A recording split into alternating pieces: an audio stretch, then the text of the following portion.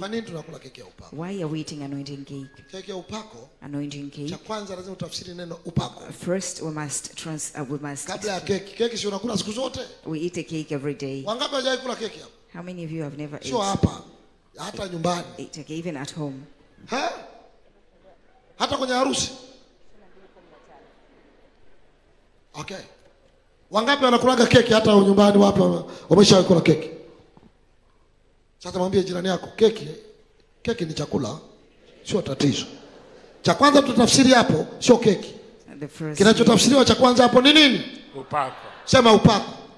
Upako ni nini? What is uh, Upako ni nguvu za Mungu. Anointing is power of Upako God. ni mkono wa Mungu. Anointing is the hand Upako ni uweza wa Mungu. Anointing is the ability Upako of ni utendaji kazi wa Mungu. Is the work.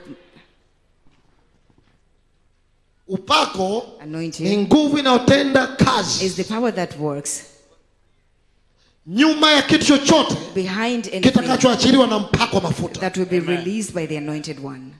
Kwani wakina Paulo waliombea vitambaa Paul prayed for handkerchiefs, mpaka mtu anaenda kupona kwa kitambaa.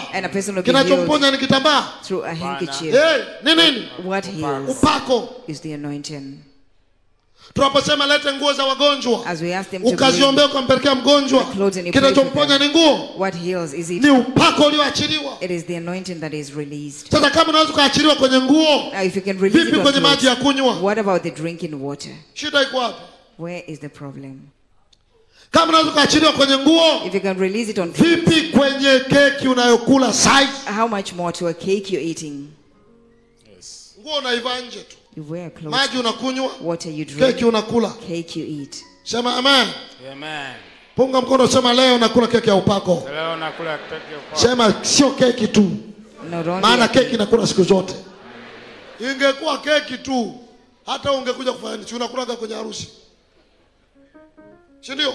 Amen. Ingekuwa no, leo kuna keki tunakula, kila keki nakulaga, hata hapa nikienda sokoni nakula. Kama maji, si hata huko mtaani unayo. Ishu ni nini? Ni upako. is the anointing. Watu wanachokimbilia ni mkono wa Mungu wasaidie. People Yes. running for the hand of God to help them, Sema amen. Amen. Sio maji, not water, Hello.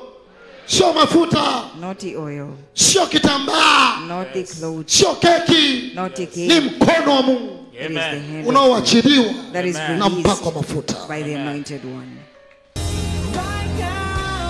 our time to arrive.